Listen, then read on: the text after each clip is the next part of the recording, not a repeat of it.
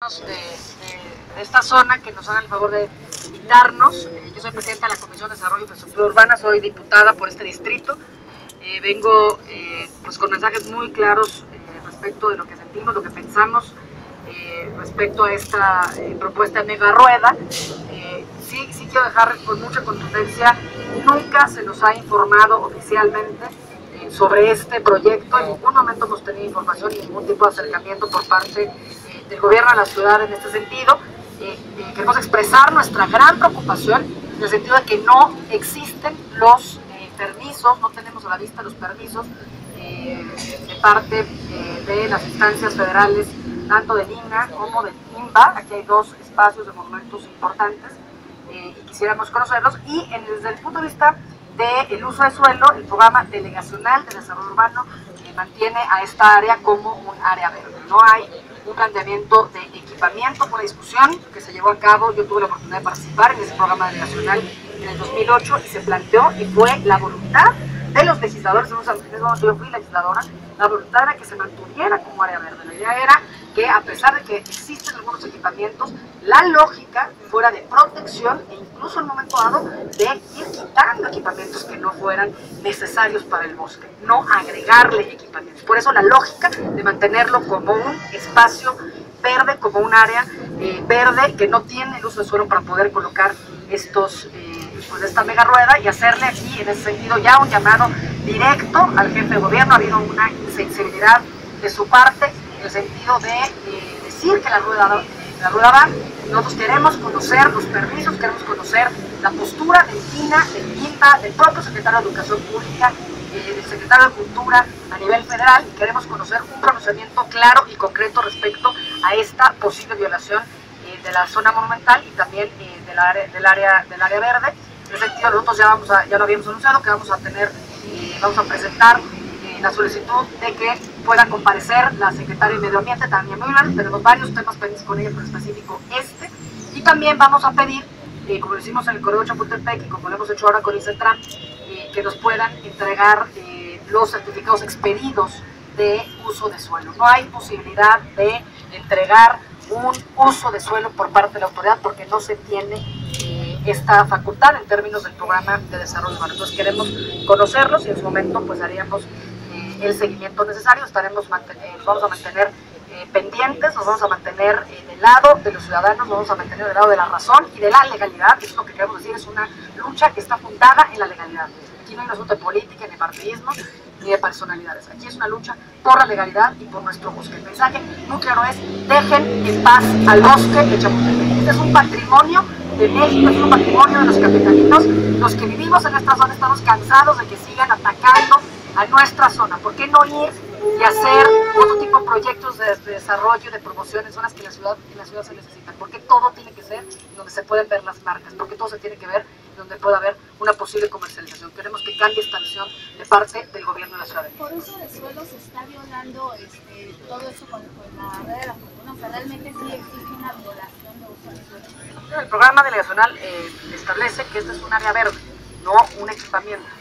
Entonces no se puede colocar, había un área específica designada para hacer lo que era en donde anteriormente se concesionó eh, la Feria de Chapultepec. Pues en, este, en esta zona, y lo quiero reiterar, la, la voluntad del legislador en el año 2008, cuando se aprobó este programa delegacional, yo fui testigo de eso, yo voté a favor de eso, yo defendí eso como legisladora, es que esta área se mantuviera como área verde que en la medida de lo posible pudiéramos ir retirando los equipamientos que no son necesarios.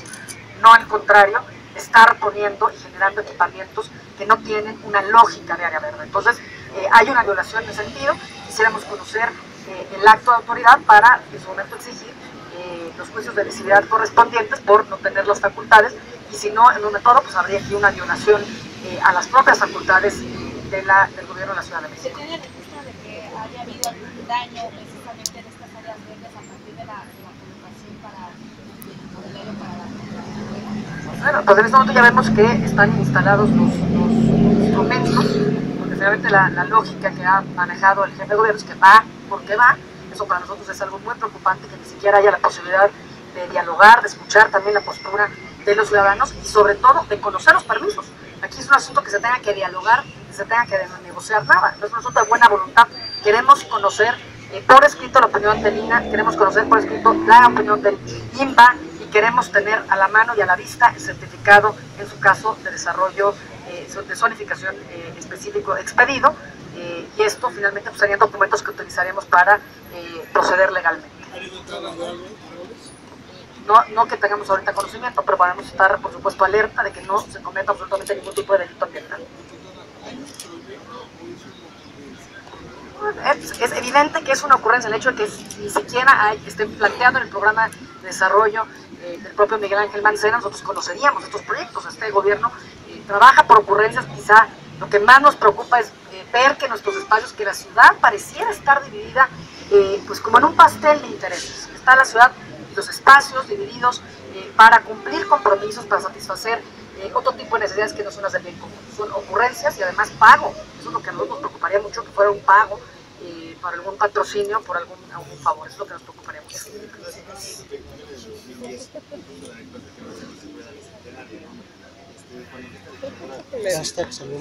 Absolutamente no. En ningún momento hemos conocido oficialmente de este proyecto.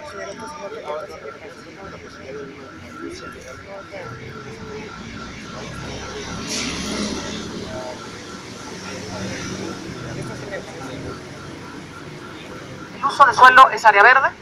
Como insisto, eh, la voluntad del legislador era de mantenerlo, incluso tener mayores áreas verdes, no al contrario. Por eso se estableció en su momento, en el 2008, que fue un área verde, no para seguir devastando, no para seguir poniendo equipamientos, sino al contrario.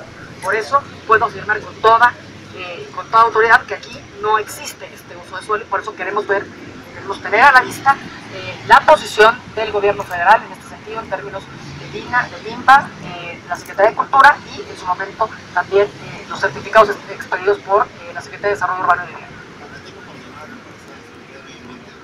Claro. A ver, el día de mañana, el día de mañana nosotros vamos a hacer esa petición eh, como grupo parlamentario de Acción Nacional, vamos a hacer la petición para que eh, acuda la secretaria de Medio Ambiente y presente precisamente estos documentos, de tal manera que pues estemos alerta de que no se pueda iniciar y que no se puede iniciar esta obra sin contar con esa información que debe ser pública y que en un momento dado tendremos que tenerla para poder proceder legalmente. Esos serán elementos para iniciar eh, los juicios de lesividad, los juicios de acción colectiva correspondientes. Tomaremos acciones legales al respecto. ¿Qué tipo de acciones? Eh, en este caso, eh, lo que se tendría que pedir es, tiene que pedir, en este caso, lo que se tiene, se tiene que pedir de la propia autoridad que inicie los juicios de lesividad o en su caso eh, juicios de acción colectiva para eh, atacar estos, estos actos, fundando y motivando que no existe el uso de suelo para poder realizar la obra. Hasta este momento no, quizá en su momento los vecinos les podrán comentar si ellos están también trabajando en ese sentido. Desde el punto de vista institucional estaremos eh, considerando de un lado que no existan los permisos y si los existen en un momento dado con esos documentos poder iniciar los juicios. La secretaria de Medio Ambiente dijo que eh, ya se hizo los estudios necesarios y se estableció que no hay ningún impacto ambiental ni social. En este caso, eh, la autoridad, al contrario de los ciudadanos, tiene que mostrar sus dichos. Tú dices que tienes eh, autorizaciones y tú dices que tienes el permiso del INA, del INBA, eh, los certificados, lo tienes que probar. Y eso es a lo que nos vamos a encargar en la Asamblea Legislativa, de pedir que nos entregue esta información y de conocerla para en su momento también tomar las acciones eh, jurídicas correspondientes. Oiga, hay al menos dos instancias que controlan, administran, manejan el bosque de Chapultepec. ¿Ustedes se han acercado a ellas? ¿Ellos qué les dicen? Porque ustedes dicen que piden las autorizaciones del INA, del IPA, pero hay un consejo rector del bosque de Chapultepec sé es ciudadano, según sé lo cobran y según sé ellos fueron esto. No sé si ustedes se han acercado con ellos. Eh, no en este momento, eh, desde el punto de vista de la Asamblea Legislativa, en momento dado ahora los vecinos les podrán, los vecinos les comentarán lo que han hecho al respecto. En este caso nosotros trataremos directamente con la autoridad responsable. En este caso los vecinos lo han hecho y ahorita les comentan. Ahorita los vecinos les comentan lo que han trabajado desde el punto de vista del Consejo. Dice que va a buscar a las autoridades federales, pero a esas autoridades no las, va, no las van a buscar. Eh, ahora, en este caso estaremos llamando a la Secretaria de Medio Ambiente. Es a quien estaríamos llamando, que es la autoridad y que presente toda la información correspondiente. Si en momento dado se, no, mañana se va a pedir la la mañana se va a pedir la comparecencia, ya lo habíamos anunciado, y mañana se va a llevar a cabo esta, esta petición y esperamos contar por supuesto con el apoyo de los demás grupos parlamentarios para que esto pueda suceder. Si en un momento dado se complementa con eh, estas peticiones, ahora lo voy a comentar con los vecinos, para que vayan los demás, las demás autoridades, incluyendo eh, al Consejo del Bosque que es para poderlo idear. El proyecto, porque, bueno, Mancera ya dijo que va porque va, ya va avanzado, incluso estamos supuestamente unos días de que, de que pueda hacerse una realidad. Entonces, ¿cuál realmente es la petición? Solo que se transparente la que se frene, que se haga un proyecto alterno ahí. ¿Cuál- A ver, lo que estamos pidiendo es que dejen en paz al bosque de Chapultepec. Es lo que estamos pidiendo, que se respete el uso del suelo que está establecido, que se presenten, si quieren actuar, que presenten eh, la documentación que han, con la que sustentan su actuar como autoridad. La autoridad tiene que fundar y motivar en normas concretas y específicas su eh, actuación. En un momento dado, si no existe, nosotros tomaremos por eso las acciones legales Si correspondientes. lo comprueban, entonces van. Vamos a ir, no, no, no. No, no- no hay forma de que lo comprueben porque no hay uso de suelo. Es a lo que quiere insistir. Y requerimos los documentos para poderlo trabajar en ese sentido. Ya en un momento dado los ciudadanos comentarán las acciones que ellos también van a realizar. No conocemos ningún tipo de información. Por eso es tan importante poder tener la presencia de la autoridad y que pueda explicar y que pueda decir en qué funda y motiva su actuación.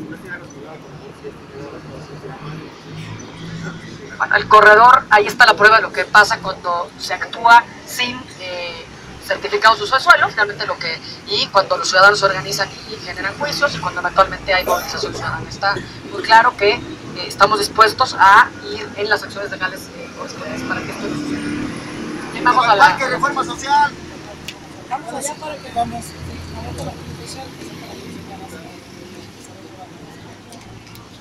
Vamos allá.